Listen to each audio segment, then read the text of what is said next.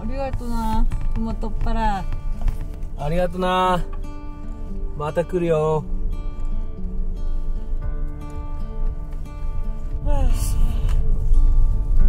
さよなら。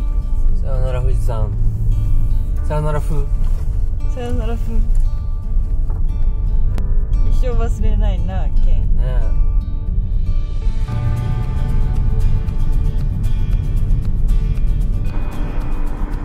ありがとな富士山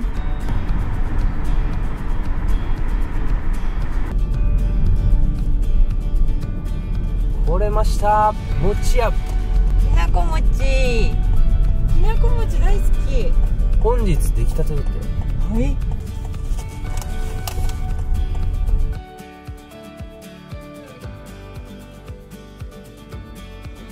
おはようございます。ます。折り返し地点だね、今日までにさ4泊キャンプしてるよね。4泊したのか。そんなしたんだもん全然疲れてません。全く疲れてない。富士山のパワーもらってるからかな、うん。で今日もまたキャンプするんだよね。そう。今日はねあのご夫婦と一緒にキャンプなんだけどあのご夫婦の他にまた違う初対面の。初対面のご夫婦も。ずーっと会いたかった。そうめっちゃ痛かった。うん。皆さんもご存知のあの夫婦。本も買っちゃったしね。うん、それバレんじゃないの？の3組のう夫婦合同キャンプに今日は行きます。んね。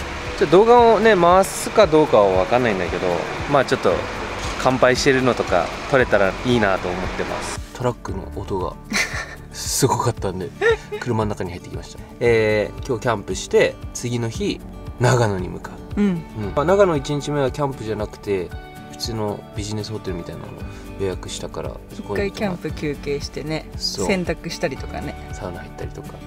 まあ今日も入るんだけど。で次の日に白馬新潟みたいな感じか。ですね、長旅の折り返し地点です。で今日はずっと来たかったふもとっぱらの横の餅屋うん。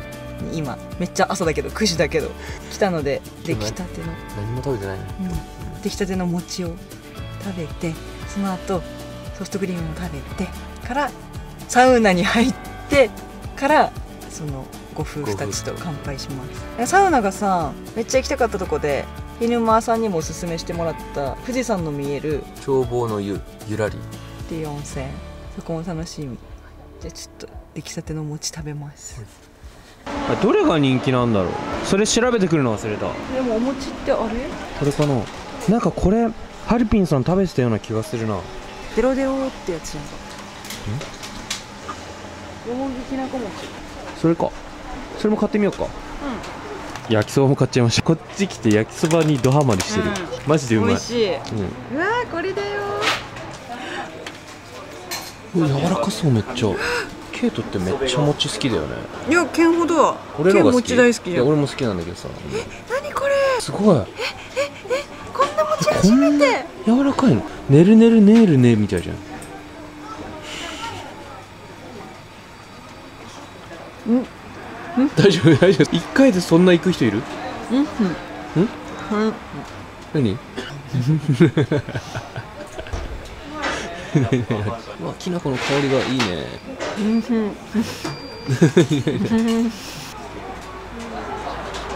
絶対ケイト前歯見せないでなすごいことになってると思う。じゃあうまいね。うまい。いただきます。うん。めっちゃ柔らかい。ね。すごいね。これ出来たてだからかな。うん。こっちの食べてっけ？好き。だろうね。あんた好きだよね。海苔巻いためっ餅。大好き。昔こういうのさ10個くらい食ってた銀紙に包んでさ。そうそうもう朝学校行くまでにさ食べながら行ってたうん。うまい。魔界の牧場。えめっちゃ混んでない？めちゃくちゃ人気じゃん。観光スポットなの。バスめっちゃ止まってるけど。すごい楽しそう。なんかいろいろあるよ。馬だ！楽しいじゃん。いいじゃん。天気いいね。いいね本当に今日雨降るの？西側から雨雲がやってきてるって昨日サウナのテレビでやってた。馬に乗ってる馬に乗ってる。ほら。あら。3歳。一人で3歳で馬。すごいね。ってあのおじいちゃん可愛すぎるんだじいちゃんの方が可愛い。馬よりおじいちゃんの方が可愛い。あ白いのもいる。ポニ乗馬やったことあるけどーあるよ。私は1歳でデビューしてるけど。早っ。すごっ。俺乗ったことないんだよ。え？ないないない。嘘。うん。乗る？サウナ行かないで馬乗るか？え馬乗った方がいいよ絶対。楽しいじゃん絶対。ケンケン絶対ハマるって。北海道でも乗れるからさ別に。ここで乗る。北海道の方がぽいんじゃん。確かにえ美味しそう。焼きナン。おおほらチーズナン。うまそう。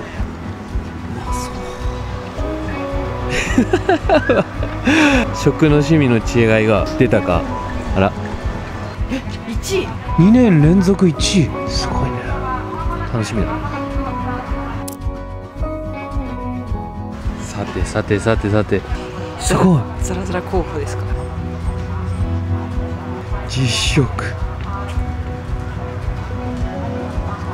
濃厚牛乳。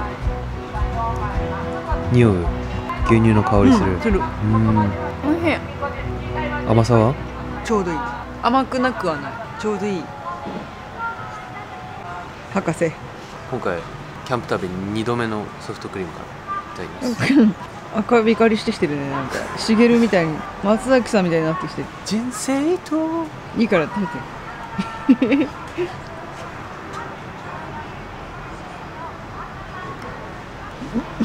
甘さちょうどいい。美味しいじゃん。俺好きだよ。結構。ちょうどいいよね。うん。うわ。香るしさすが2年連続1位。あ俺魔界好きだ。魔界のさん本州ランキング1わお待って2回ぐらいしか食べたことなくない？位 日本中1位暫定1位ちょっと餅2パック食べてその後に焼きそば1パック食べて。今ソフトクリーム食べたら糖質しか食べてないから血糖値爆上がりして頭痛くなってきた。かわいそう。じゃあ入ろうお風呂。ちょっと一気にやりすぎたなケン、うん。なんか旅行に来ると食べたいものが集中しちゃって。餅食いすぎた。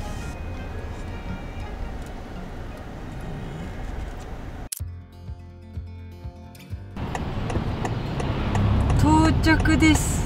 混んでるからいや眺めめちゃくちゃいいらしいのよ。えなんかうちらにとっての聖地ここじゃない？もはや。本州キャンプの聖地。そうそうお綺麗。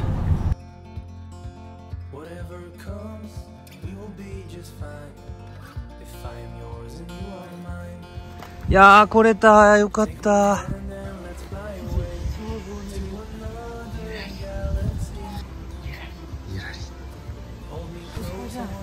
趣ありますな。ー羨ましいなこの辺に住んでる人。じゃあ3時間入っていい？3時間も入れないでしょ絶対。6セットいけばじゃあ楽しめよ。ケンもだうん。後でな。1時間半で、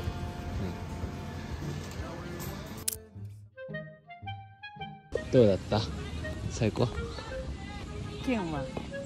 水風呂がいいのかな？うん。ねえこっちの温泉って20度って書いてあったんだけどさ温度計。うん。絶対20度じゃないよいや20度じゃない。キンキンだもん。何なんだろう。こっちもさ15度って書いてあったんだけどいつもの15度だったら全然入れるんだけど、うん。入ってられなかった、うん。気持ちよかった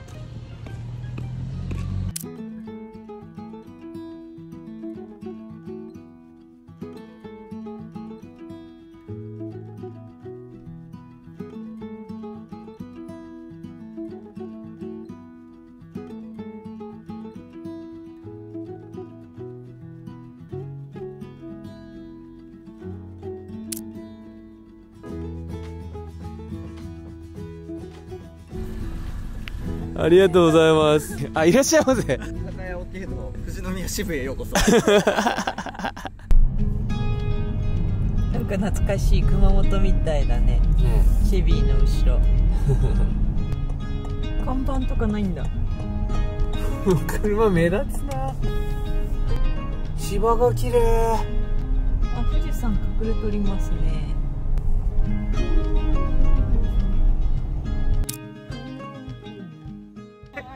めっちゃ可愛いっすね。可愛いんだけど。似合いますね。焼き鳥と何でしたっけ？焼きそばピンです。焼き鳥やば。僕は焼き鳥屋なんで。太郎さんラーメン屋さんじゃない。ですじかゃないなんか？い。そうじゃないですか。めっちゃえラーメン屋さんですよね絶対。ラーメン屋か。え焼き鳥屋はじゃあどういうのが？いやいや太郎さんがなんかぽい。ラーメン屋顔 じゃあどうどうにもできないじゃん。あさっきよりは焼き鳥に寄ったような気がしますか？はい。あ確かにうん。確かに。焼き鳥になった。なんか一人になりました。やらせてもらいます。嬉しい。いや最高。めっちゃ楽しい。そんなもてなしてもらえるんですか？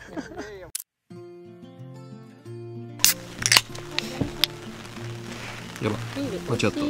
じゃあ雨も降ってきましたので。静岡爆酒あ、バクバクバクバク。もう飲みました？爆酒。バクバク？なんか今。もう飲まれました？これは。飲まれました。おじゃああまだじゃあ1巻しか飲んでない。オッケー。じゃあ乾杯はせっかく静岡なんで。ありありがとうございます。はい。あすいません。準備していただいてありがとうございます。いいあとだけ。はい。でははい。最初お願いします。いいですかでは。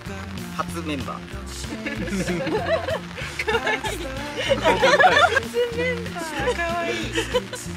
ようこそ静岡へ。お邪魔します。乾杯。これ飲みやすいですよね。飲みやすい。飲みやすいめちゃめちゃ飲みやすめっちゃ飲みやすい。コロだしね、俺がようこそ静岡へっていうのおかしくない。あ僕らのセリフ確かに確かに。そういうことか。俺らは神奈川。なんで確かに。じゃあお邪魔します。お願いします。ようこそ。静岡人ブルナって話だよね。美味しい。ということでうんあの夫婦はサーヤンさんとともやさんでした。やば。ーやば。ーどうもはじめまして。よろしくお願いします。やばいな。ケンさっき顔まで鳥肌立ってたもん。ずっと緊張したもんねもう。今ちょっとビール入ったから少し溶けたけど。会えて嬉しいですいやね本当に今年ありがとうございます。今年会いたいって思ってて夢が叶っちゃった。今日は太郎さんとハルピーさんがなんか居酒屋開いてくれる。すごい。いや本当にありがとうございます。めっちゃ時間かかりましたよね。いやいやいや。着るね。あ来てく雨降ってますからね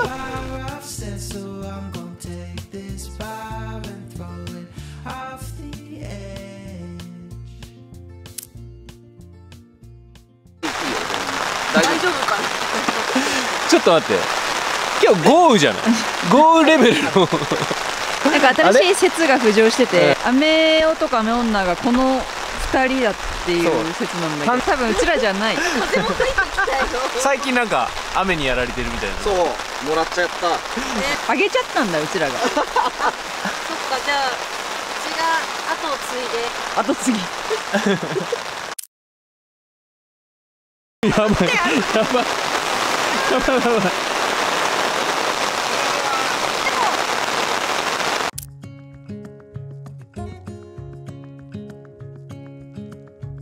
生まればももレバーももも初。初、やばい。もうやばい。めっちゃおなお腹すいた。どうなんでしょう。めっちゃ うま。めっちゃ美味しい。うまい。全然臭みないし。臭みないないなこれ？うわうわうわうわ。本格的。考えたんでね、太郎ちゃ。そうんなんですよ。どうやったらつけ、タップですげえこれつくねですね。もうこれできた。あこれできた。急に太郎さんが焼き鳥屋さんに見えた。あ、よかった。じゃん。ラーメン屋が消えたよ。あよかったよかった。焼き鳥太郎ですか？焼き鳥太郎じゃなくて居酒屋おけのはい。あチェーン店ですか？あの、そう。のれん分けという塗るかわけですか？御殿場御殿場支店でやらせてもらってさっき富士宮とか言ってここ富士宮じゃなかったから。太郎さんにのれん分けしてもらっちゃった。ねありがたいね。いいのかな？ね。なんかしてもらっちゃって。だって私あんな丁寧に焼き鳥焼いたことないけど。なんか本家超えちゃう。うん黄身までついてきた。マジですごい。月見つくねか。なんかちょっとつけづらいんだけどえこんなことあるもうつけづらいとかどうでもいいですよ全然。マジですごい。大将でハルピンさんがえっとおかみ。副将です。ああおかみ副将って何？副将。副将相撲みたいじゃん。おかみです。あり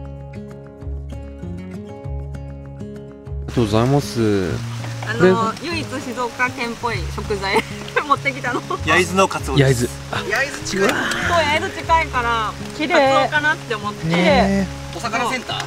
お魚センターの隣にカツオマグロの福市ってあるんですよ。へへこれ地元民が行くような。えへえなんかスースーパーみたいな。お魚せんお魚専門。えめっちゃ行きたいね。おそれその情報入ってなかったね。ね。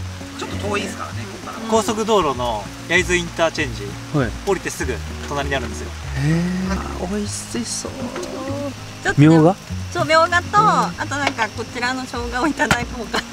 な 勝手に。確かに。生姜あった方が絶対うまい、ううん。ポン酢今かけたんですけど足りなければご自由におかけください。そのポン酢は何ですか？これは静岡のやつ。何ですか？あまり変なこと言わない方がいいか。長崎 何かと静岡じゃないっていうオチが多々多々ありました。ね、はい。大好きだよね。北海道ってカツオ有名じゃないからさ、うん。ねめっちゃ嬉しい。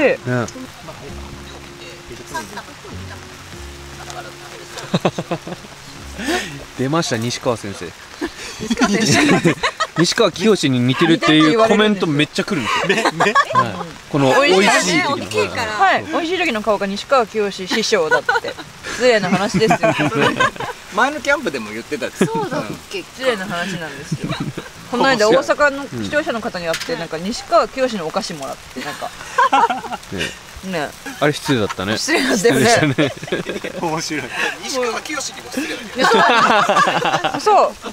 だからちょっとやっぱ大阪の星だからあんまり言い過ぎるとな。確かに。でもやっぱりな西川きよしはおじちゃんだからね性別も性別変わってますからね。違うし年もやっぱり師匠だから失礼でしょ普通に考えて。オケグラス使ってもらって あーありがとうございます。今めっちゃ欲してるよね。寒いもんね。寒いですよね。はいはい。温めたいですよね。うわー豚汁やばい。うわあれだよ。骸骨回してくれ。えある？器。大丈夫ですよます？ある。そう今。ありがとうございます。めちゃくちゃ。美味しそうだね。サーヤン飯食べれるってめっちゃ贅沢だよレアだ。いいの？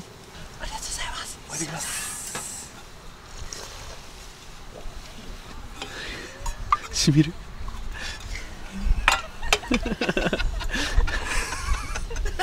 おばあちゃん。西川なおばあちゃんからおばあちゃん。おばあちゃんになったよ。これはやばい入った少し入った。これはやばい。これはやばいって。めっちゃこれはやばい。再スタート切れるこれは。再スタート。二次会への。2時間への再スタート切れるうわめっちゃうまそう。CM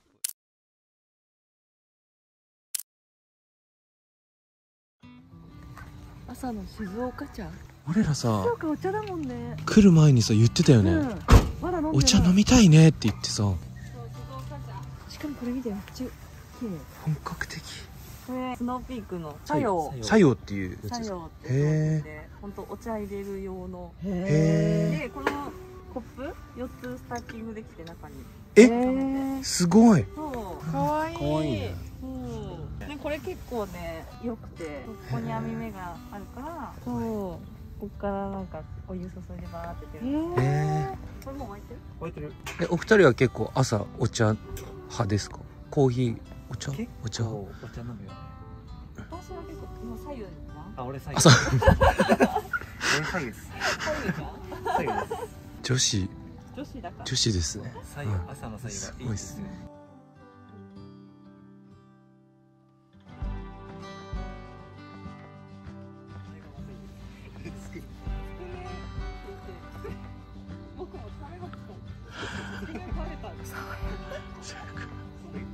富士山見て富士山富士山こっから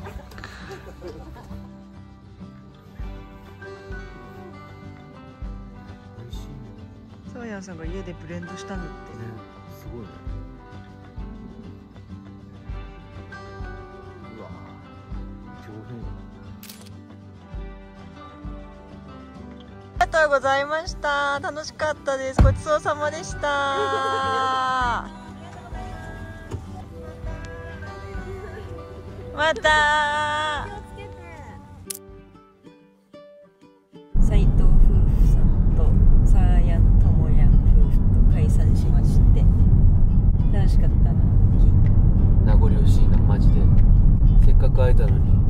瞬で終わっちゃった。一瞬で終わった。めっちゃ楽しかった、ね。うん。みんないい人たちだね。私たちはなんかほとんど何もほとんどというか用意せず2組にいろいろ準備も料理も料理もしてもらってもてなしていただいてすごい幸せな時間でした。で今日はこれまた念願の初長野に行くんだよね。えケン行ったことないよね？ない。私もない長野めっちゃ検索したんだよね、景色がねすごい良さそうなんだよ、めっちゃ楽しみ。うん。うん特に白馬。泊が楽しみだね。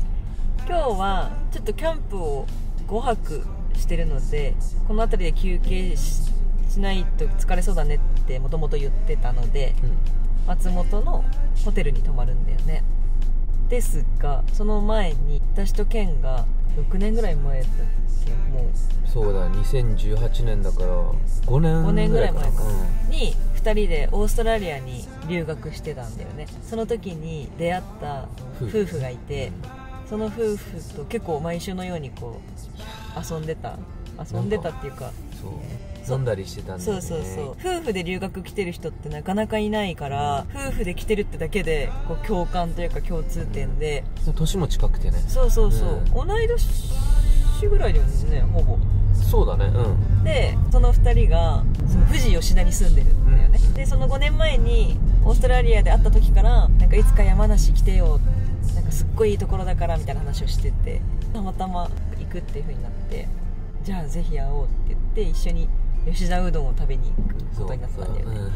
今日5年ぶりにその夫婦に再会するんだけどもうその2人はね子供も2人もできてねうん。家族なんだけど今から2時間ぐらいその夫婦と過ごしてから松本にはい向かいます。なんか4年前のことをフラッシュバックしてきた今、んなん。かなんかケンがさ私に手作りのさレザーバッグみたいの作ってくれたじゃん。うん。あれとかその夫婦が協力して一緒に作ってくめれてっちゃ協力してくれた本当に感謝だわてかケンがさ、うん。一番最初に写真のこと学んだのってその夫婦からじゃない？いやそうそう。それさっき考えてた。あの夫婦がいなかったらなんか写真興味持たなかったような気がする。いろいろ教えてくれたんだよね。そうだよねドローンとか持ってってねあの夫婦がね。うんそうだそうだ。で YouTube やるとかなんとかみたいなこと言っててなんか喋ってたよね。俺らもやりたいんだとかそういうことね。ゴールドコーストの海を眺めながら一緒に飲みながら語ったねいろいろ。懐かしい。ケンちゃんって言うんだよねその旦那さんの方がね。そう。でケンかぶりだからって言ってケンはケンケンになった。そうそうそうそう ケンちゃんケンケンケンが2人でややこしいねって言ってうわあめっちゃ混んでない？うわーめっちゃ並んでる。やば。ーえ開店11時だよね。10時だっけ？多分10時だわこの感じ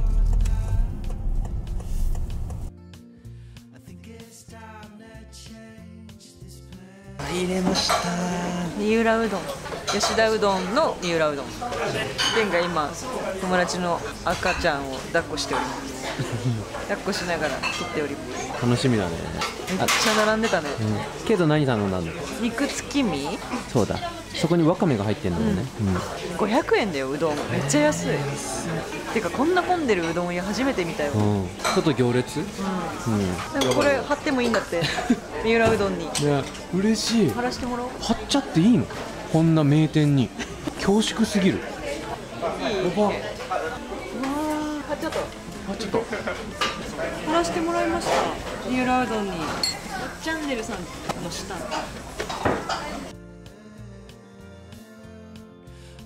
太いね。めっちゃ太い。えこれなんか2の食べ方とかあるの？普通に。普通に。普通に、えいただきます。ー、はい。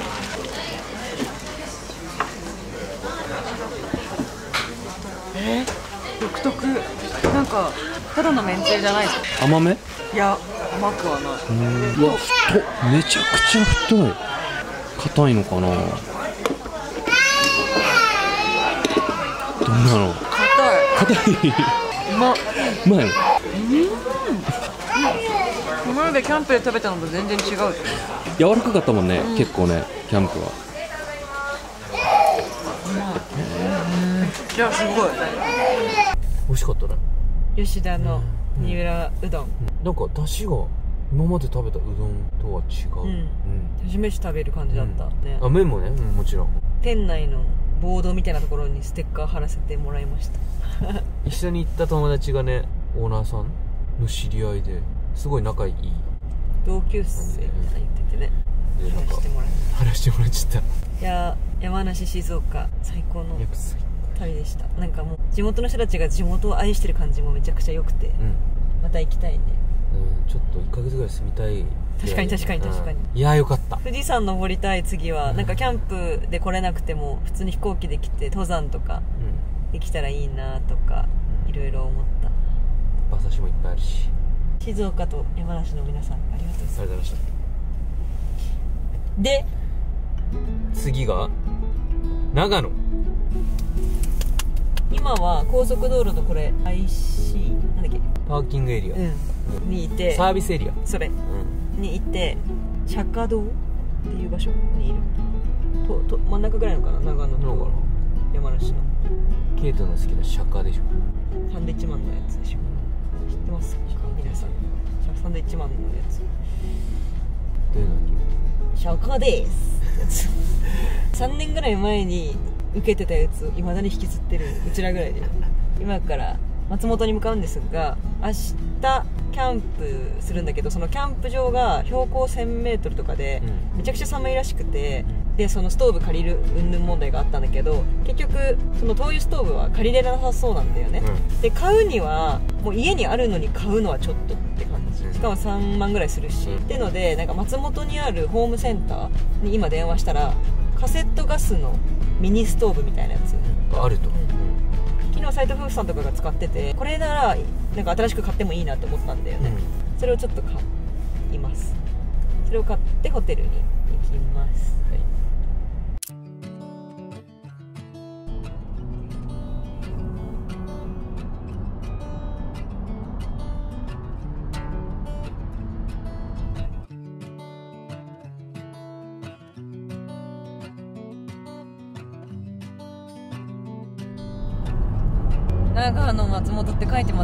長野です。え右行ったら名古屋なんだ。名古屋も行きたい。いつか行こいいね名古屋。あ不思議。下にさこっち長野こっち名古屋って書いてある。うあれかな松本。ああ松本の町っぽいね。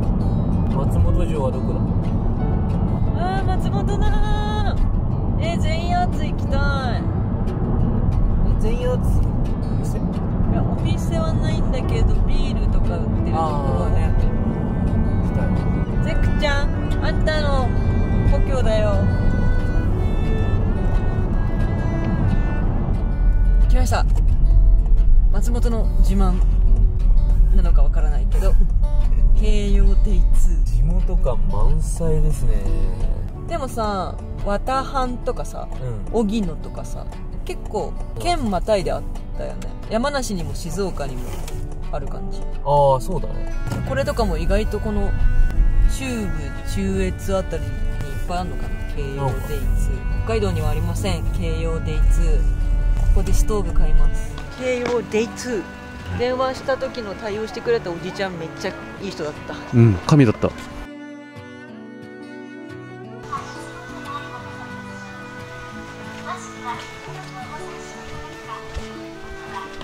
こういうやいいね。あこれじゃない？つこれだ。いいじゃん。電池も電源コードもいらない。これいいじゃん。え絶対す命拾いしそうだよねこれあったら。命拾いすると思う。えじゃあこれにしようよ。よかった。とりあえずは大丈夫そう。すごいすごい。品揃えがすごい。これにしましょう、ゲット。無事ゲットしましたいや安心だね。しかも何かと空きキャンプとかで使えそうだよねてかな家でもさパソコンやってる剣の足元とかさ。めっちゃいいじゃん。ね。うん。いいね。軽いよね。めっちゃ軽い。到着しました。溜まった洗濯物を洗濯します。旅っぽいな。なんか懐かしいな。こんな旅オーストラリアの留学中に一回したな。それを思い出すよ。いいよね。ね。すごい綺麗なコインランドリー1200円1時間弱で。早くない？23時間かかるのかなと思った。らうん。へえ焚き火の匂いとかもついてるから匂いを分解消臭。長時間防止うん。ちょっと奮発して200円奮発。頑張れよ。おお回ってる回ってる。頑張れよ。人生で2回目ぐらいじゃん。うん。あんま使わないよね。頑張れ何すぐ話しかけんの？機械に。来ました。めちゃくちゃ気になってた。オブおぶー。面白い名前。はいえ激コミじゃん。満車。やっぱ人気なんだ。めちゃくちゃ評判がいい。こちらおぶー。露店の感じがめちゃくちゃ良かった。そしてこの満車だよ。すごいそしてですね私たちが松本に着いた瞬間なんと雨が降ってきました。今日はあの松本城とか行けたらいいねって言ってたんだけど、うん。雨降ってきたからお風呂にしようって言ってお風呂行って明日ねキャンプ場行く前に松本城行きたいんだけど明日も大雨なんですよ。大雨なんだ。朝は4ミリぐらい結構雨。いやいやマジか。はまあちょっとここで整って旅の疲れを癒しましょう。いサウナ入ります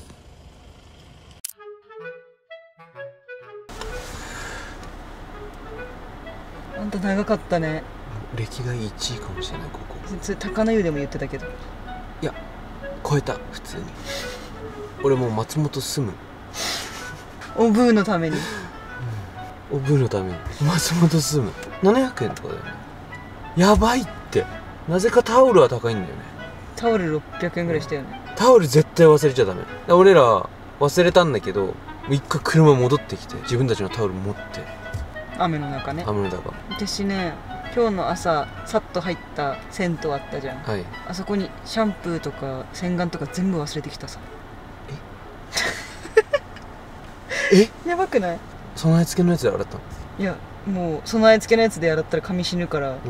髪はもう水洗いしかできなかった。かわいそ私なんかやばくない？最近カバンとかめっちゃ忘れるしさ。うそうこの12ヶ月で3回ぐらい忘れてるよ。一昨日も爽やかにカバン忘れたんだよねうん。実は、店員さんが焦って届けに来て。この間札幌の居酒屋とかでもカバン忘れて、ユニクロでもさ試着室にカバン忘れてさ、なんかやばいよね。やばい。なんでシャンプー忘れるの？シャンプーと洗顔だけをこう手で持って入って中にねあー濡れたくないから。あのなんかバッグみたいなのではなくその単品で持って、うん。で今日の朝めっちゃ急いでたじゃん。うん。荷物置き場みたいなところにこう置いてさそれをまあもう取り忘れてお風呂やのば。浴室の中に置いて出てきたから。シャンプーと洗顔だけ？そうでも結構新品の髪にいいやつでしょ？と洗顔もさ割とちゃんとした金額のやつ、うんまだ3分の1ぐらいしか使っていやないのそれはテンション下がるわ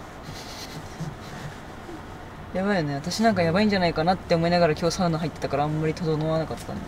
私の記憶やばいやばいんじゃないかな私ってみたいな。整いすぎてんじゃない？今日の朝サウナ入ってない。確かということで今からホテルに行きます。これはあれかな？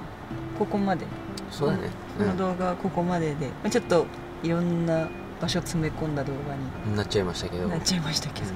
明日からいよいよ白馬あ今日の夜この後2人でちょっと一軒だけご飯行って。はい。で明日白馬まで移動して白馬でキャンプする。予定ですけど雨がひどかったらどうなるかは大雨予報です。次の動画は長野編ですね。本日もご視聴ありがとうございました。それではまた。あ松本城駐車場だったへえこの辺にあんのタリホテル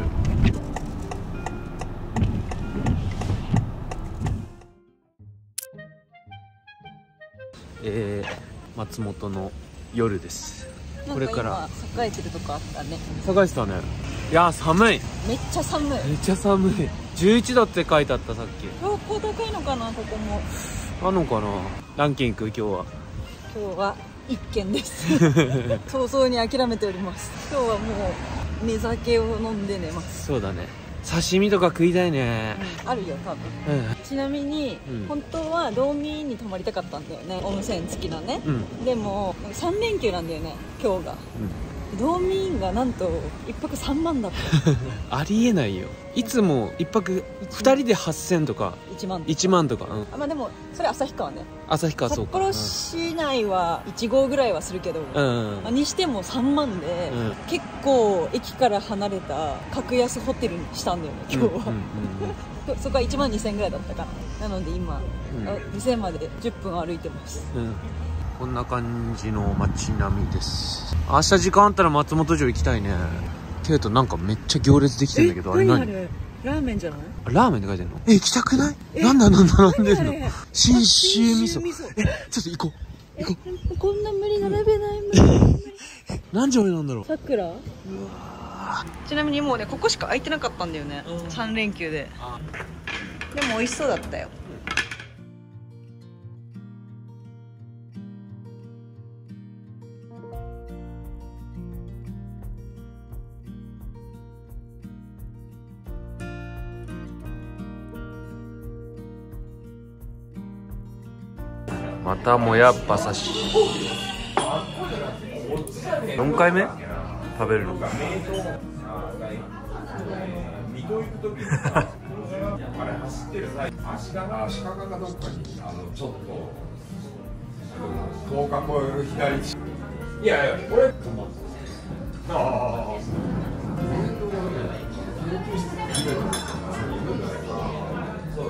これまた食感が違うね全然ね。これもいい美味しいよね。うんうん。げんこつみたいになってかわいそうに刺される昨日のキャンプで刺された。これやばいね。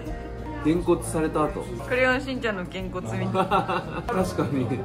ミサエロこちら長野名物短足焼き。ケン食べてみてちょっと。いけるよ。ザンギ ザンギなわけないでし。ょこれザンギじゃないの。見た目超ザンギだようん。いただきます。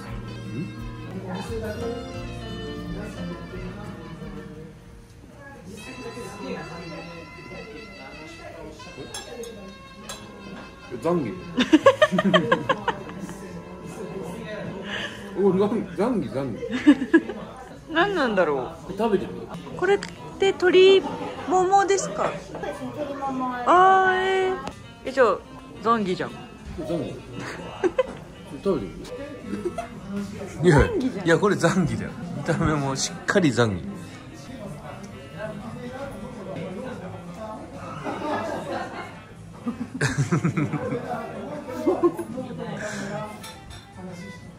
ザンギ？ザンギなんですよすごくない？北海道のソウルフードと。かぶっちゃってるのあでも丸じゃないからね。丸っていうか。あ形式が違うよこれは。長野県民は多分北海道に旅行に来てザンギを食べたら山賊焼きだあ なるなる。絶対なる。締めのラーメンで行列のできてたさくらというラーメン屋さんに行こうと思ったらなんと閉店30分前で終了。ケンさん食べれませんでした。残念。空気でいたから悔しすぎる。信州国味噌残念。